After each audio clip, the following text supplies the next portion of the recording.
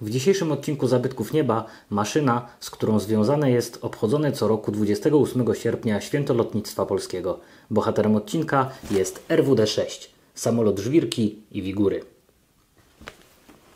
RWD-6 powstawał jako konstrukcja mająca reprezentować Polskę w międzynarodowych zawodach Challenge w 1932 roku. Zawody te, ich baza była w Niemczech, w Berlinie i Niemcy jako organizatorzy opublikowali regulamin tych zawodów zaledwie na 10 miesięcy przed ich rozpoczęciem, dlatego na opracowanie nowego samolotu zgodnego z zapisami regulaminu było mało czasu. Ale konstruktorom z zakładów RWD udało się opracować dokumentację, taką dość uproszczoną, i w oparciu o nią zbudować trzy egzemplarze samolotu RWD-6 w zaledwie 5 miesięcy. RWD-6 miał kratownicowy kadłub spawany z metalowych rur. Miejsca w kabinie były obok siebie, co zapewniało wyższą punktację niż układ tandem w zawodach Challenge. Siedzenia były przystosowane do spadochronów siedzeniowych.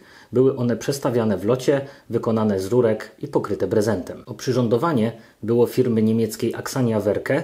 Samolot wyposażony był w dwie busole i standardowy zestaw przełączników i wskaźników. Samolot był wyposażony również w system bezpieczeństwa. Silnik był odgrodzony grodzią ogniową od kabiny pilotów. W kabinie znajdowały się dźwignie odcinania dopływu paliwa do silnika, a na środku tablicy przyrządów widać taką tabliczkę z napisem pożar. Tam znajdował się Powyżej niej włącznik gaśnicy pianowej. Kabina była wentylowana, w przednich szybkach były okrągłe wywieczniki, były również metalowe takie użebrowania wentylujące kabinę za jej drzwiami.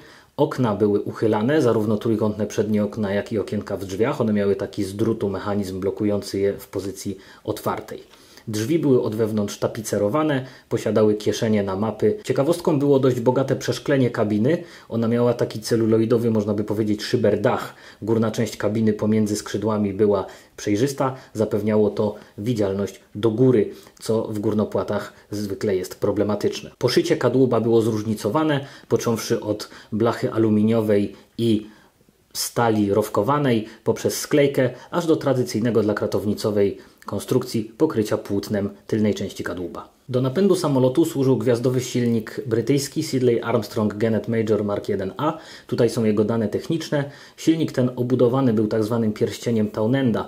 Generalnie silniki gwiazdowe obudowywane były w różny sposób. Takie dwie najpowszechniejsze formy to był właśnie pierścień Townenda, to co tutaj mamy, czyli taka wąska, dwuczęściowa metalowa konstrukcja, która była tak oprofilowana, żeby ułatwić przepływ powietrza i wzmożyć chłodzenie silnika. Druga forma to była taka pełna obudowa typu NAKA, jaka była na przykład stosowana w myśliwcach PZL Jastrząb.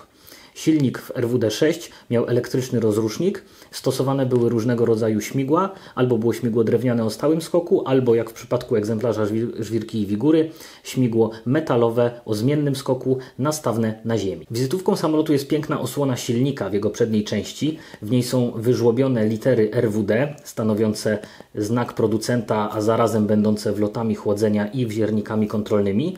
Z racji małoseryjności produkcji ta osłona była ręcznie klepana młotkami na workach z piaskiem i formowana do pożądanego kształtu, a żeby ukryć tę niedoskonałą technologię wykonania, była ona później wiertarką z filcowym krążkiem polerowana i uzyskano wzór rybiej łuski. Podobnie wykonane były osłony, owiewki kół podwozia. A podwozie miało golenie spawane z profili. Co ciekawe, były tam amortyzatory olejowo-powietrzne firmy PZL o bardzo dużym skoku 40 cm. To zapewniało możliwość lądowania tym samolotem nawet z dość znacznym przepadaniem.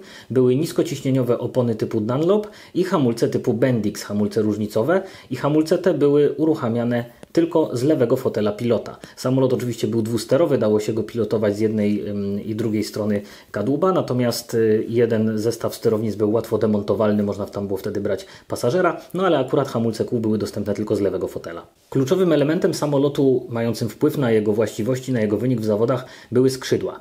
RWD-6 było zbudowane w układzie górnopłata, miało skrzydła drewniane. Te skrzydła miały generalnie obrys prostokątny, przy czym końcówki były zaokrąglone, a część przykadłubowa zwężała się, co jeszcze bardziej poprawiało widzialność z kabiny. Skrzydła były mechanizowane, z tyłu miały klapy o dość niewielkim znaczeniu, te klapy wychylały się w dół tylko o 15 stopni. Były również lotki, lotki wychylały się z dużą różnicowością, do góry aż o 25, a do dołu tylko o 5 stopni. Natomiast w przedniej części zastosowano sloty, czyli takie skrzela, wysuwaną krawędź natarcia. Tu nie wgłębiając się w aerodynamikę, chodzi generalnie o to, żeby poprawić właściwości samolotu w locie przy dużym kącie natarcia i w locie z niską prędkością. Zastosowano tutaj e, sloty Lachmana. One, były, mm, one się charakteryzowały tym, że wysuwały się tylko przy krytycznych kątach natarcia, niezależnie od prędkości. Zatem w locie poziomym one zawsze były złożone.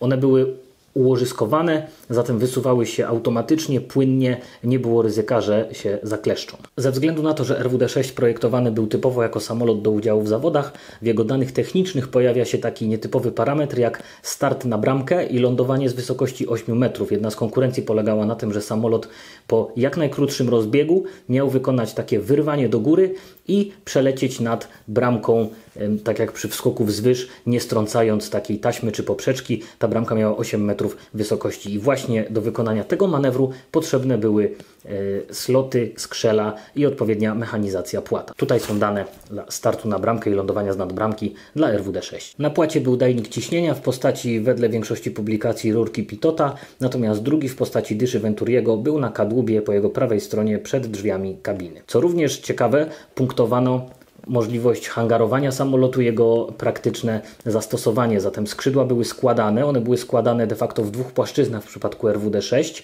dzięki czemu można było go łatwiej przepchnąć przez wąskie drzwi hangaru.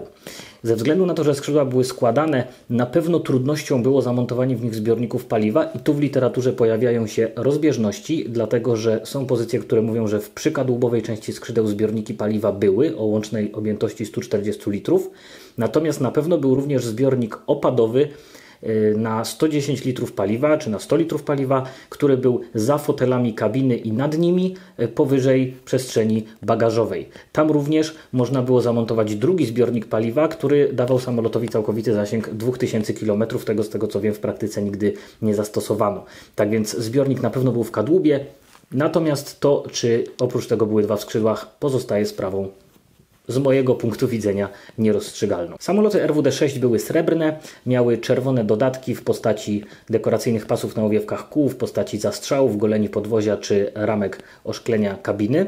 Uchwyty na płatowcu do przenoszenia i dajniki ciśnień były czarne, jak również płoza ogonowa była czarna, natomiast nie jest jasne jak malowane były stateczniki. Tam były takie pasy, które mogły mieć kolor czerwony albo mogły mieć kolor czarny.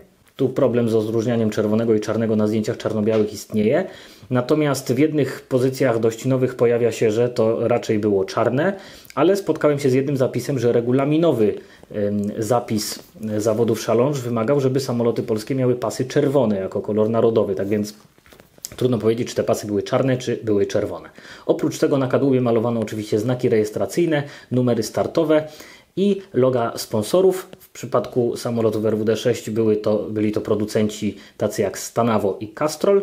Natomiast ostatni egzemplarz, który się zachował, miał na stateczniku pionowym namalowaną mieszkę Miki. Samolot RWD-6 oblatano 3 czerwca 1932 roku i podczas oblotu zdarzył się wypadek. Samolot pilotowany przez Jerzego Drzewieckiego, ten o numerach rejestracyjnych Alfa Hotel Mike, chwilę po starcie, podczas lotu na wysokości kilku metrów, uległ uszkodzeniu polegającym na oderwaniu się skrzydeł.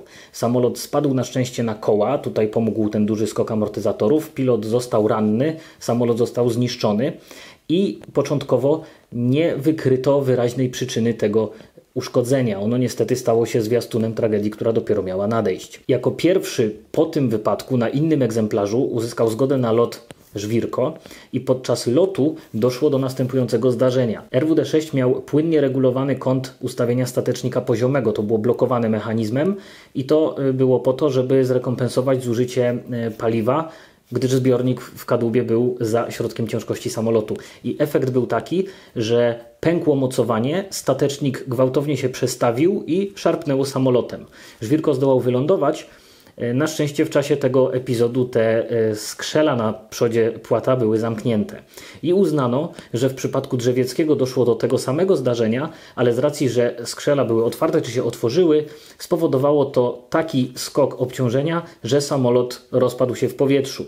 No i Dopuszczono samoloty do dalszego użytku, ale z zastrzeżeniem, że powinny w czasie zawodów mieć skrzela zablokowane, co dla mnie też jest niejasne, bo na zdjęciach raz są otwarte, raz są zamknięte, więc, więc nie wiem, czy Finalnie tego zalecenia przestrzegano i zamontowano ograniczniki na manetkach gazu, tak żeby samolot nie osiągał maksymalnej prędkości. Zdjąć je wolno było tylko do ostatniej konkurencji zawodów, czyli właśnie próby prędkości maksymalnej. To jak wyglądały, jak przebiegały zawody Challenge to jest temat na osobną opowieść, ale Żwirko i Wigura na RWD6 w berlińskich zawodach już od samego początku wysunęli się na prowadzenie i utrzymali je na długiej trasie liczącej prawie 7400 km.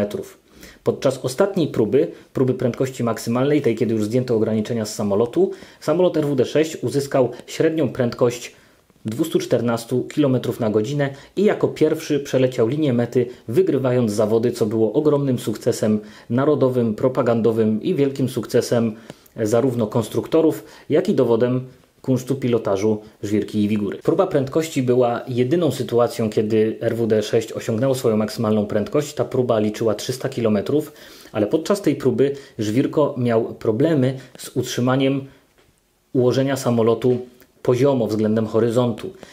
Jak się okazało, objawiła się wtedy Niska odporność skrzydeł na ich skręcanie przez siły aerodynamiczne to było zjawisko wówczas mało znane. Zjawisko to pozostawiało na samolocie oprócz wrażenia pilotażowego uszkodzenia w postaci pęknięć w okuciach łączących skrzydła z kadłubem.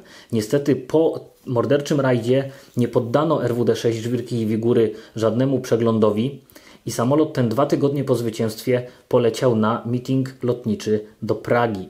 I w czasie lotu do Pragi Żwirko i Wigura niedaleko granicy polsko-czechosłowackiej, w okolicy miejscowości Cierlicko, trafili na załamanie pogody, na burzę.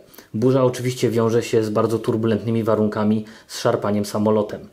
Wedle świadków Lotnicy zdołali zawrócić, chcieli ominąć warunki pogodowe. Jeden z mężczyzn, który widział, co się stało, był wtedy na wieży kościoła. Mówi, że widział ten samolot, który leci nawet poniżej poziomu wieży. No i w pewnym momencie gwałtowne szarpnięcie samolotem spowodowało, że oderwało się skrzydło, na ziemię posypały się srebrne części, zamilkł silnik i samolot rozbił się w lesie. Żwirko i Wigura tej katastrofy nie przeżyli, a jak się później okazało, jej przyczyną było właśnie przekroczenie limitu obciążeń skrętnych, jakie mogły wytrzymać skrzydła. Kiedy poddano ostatni egzemplarz RWD-6, który został ten z namalowaną myszką Miki oględziną, okazało się, że widać pęknięcia na okudziach kadłuba. Czy to samo uszkodzenie dałoby się wykryć, poddając samolot żwirki i wigury przeglądowi? Tak czy inaczej, po tej katastrofie ona miała miejsce 11 września 1932 roku. Mimo napiętej sytuacji politycznej polsko-czechosłowackiej zorganizowano uroczyste przewiezienie ciał Żwirki i Wigury do Polski. Y, ich ciała były wiezione specjalnie udekorowanym pociągiem, który zatrzymywał się na większych stacjach. Tam miały miejsce różne uroczystości. Zorganizowano pogrzeb z pięknymi honorami. Brało w nim udział 300 tysięcy ludzi. Żwirko i Wigura spoczęli w Warszawie na Powązkach. Natomiast w miejscu katastrofy RWD-6 wybudowano taką kapliczkę, miejsce pamięci. Tam dwa drzewa, o które rozbił się samolot, y, były przed kapliczką, był pomnik ze śmigłem i to miejsce pamięci zostało tak naprawdę zniszczone dopiero no, niedługo później, w czasie II wojny światowej przez Niemców ale do tej pory w Cierlicku jest tak zwany Dom Polski, jest tam y, y, pomnik jest miejsce e, katastrofy Żwirki i Wigury upamiętnione. Ostatni egzemplarz RWD-6 poddano przeróbkom, które miały wzmocnić jego konstrukcję, zapobiec uszkodzeniom, jakie miały miejsce. Wzmocniono połączenie dwóch okuć e, skrzydła z kadłubem, wzmocniono żeberko, dodano widoczny z zewnątrz taki podwójny zastrzał i to dopiero pozwoliło skrzydłom na zachowanie należytej sztywności i odporności na siły skręcające. Ten samolot RWD-6 został nazwany RWD-6 BIS właśnie po dokonaniu tych przeróbek i był używany w wytwórni RWD jako samolot dyspozycyjny. Skreślony ze stanu został wedle różnych źródeł 22 kwietnia 1935 albo 30 października 1936 roku. Jego kadłub posłużył później do budowy prototypu istniejącego do dziś samolotu RWD-13. Tak wygląda historia samolotu RWD-6. Pokazał światu, że potrafi wygrać prestiżowe światowe zawody, ale niestety ze względu na mało znane wtedy, nie do końca rozumiane zjawisko przyczynił się również do wielkiej tragedii, jaką była śmierć znakomitych polskich lotników Żwirki i Wigury. Widzimy się już za tydzień w kolejnych odcinkach z serii Zabytki Nieba. Cześć!